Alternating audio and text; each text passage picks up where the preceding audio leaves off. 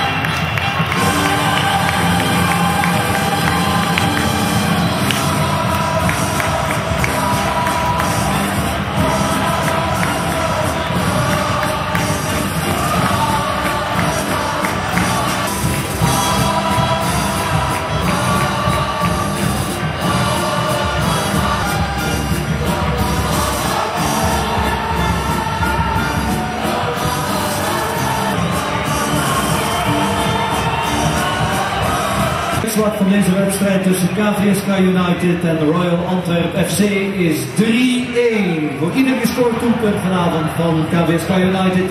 Zigezaggen, zigezaggen! Zigezaggen, zigezaggen!